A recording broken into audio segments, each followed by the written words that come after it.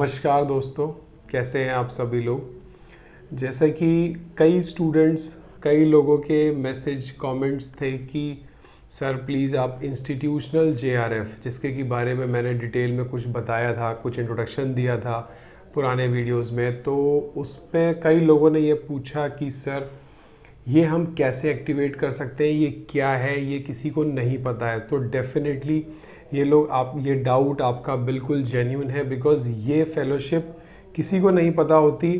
Even मैं आपको बता रहा हूँ, कई ऐसे केस मेरे सामने थे।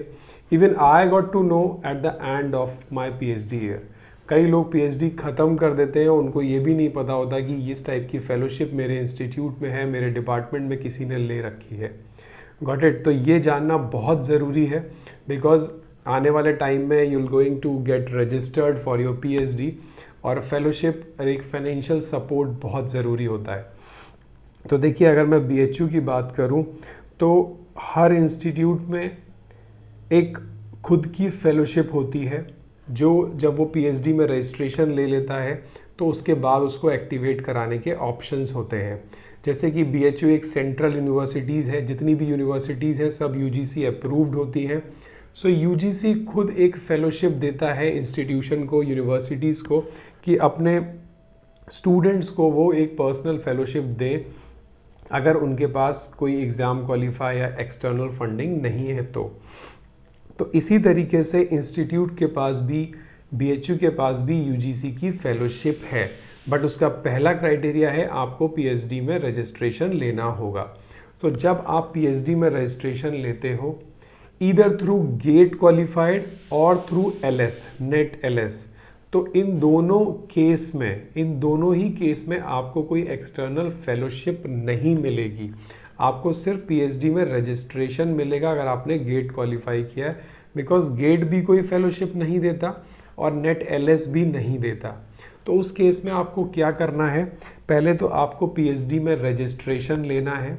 रजिस्ट्रेशन लेने के बाद जिस दिन से आप रजिस्ट्रेशन लोगे तो इंस्टीट्यूट के पास दो फेलोशिप होती हैं।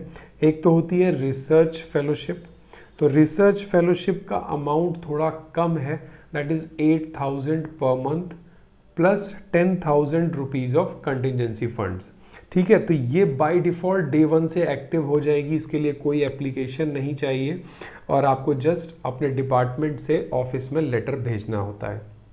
So this is one of the fellowship जिसका कि अमाउंट कम है। बट मैं बात करूँगा जे की, जिसको कि बोलते हैं U G C B H U J R F means ये यू जी सी ने यूनिवर्सिटी को दिया है और ये अलग अलग इंस्टीट्यूट जैसे यूनिवर्सिटीज़ के अंदर हमारी यूनिवर्सिटी में तीन चार इंस्टीट्यूट हैं उन इंस्टीट्यूट में अलग अलग जे हैं।